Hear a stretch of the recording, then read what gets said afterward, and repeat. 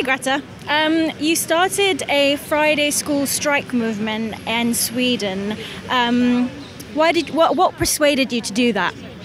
I thought that nothing was happening and no one is doing anything, so then I have to do something.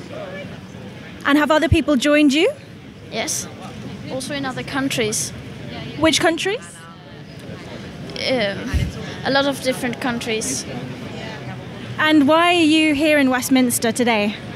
Because the, there's not enough anymore to say that climate change is an important issue. We need to start doing acting because nothing is happening and we have so little time. We need to start civil disobedience because nothing else is happening. And what do you think our governments aren't doing currently that they need to? They aren't doing anything. The emissions are increasing. You joined your friends in a Friday school strike. Presumably, you're still doing that. What's the response been like? It has been a very positive response, mostly positive, From who? from everyone almost. And what are you hoping to see from uh, this demonstration here today?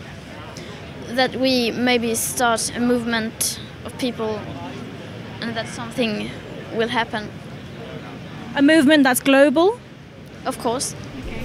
Thanks so much, Greta.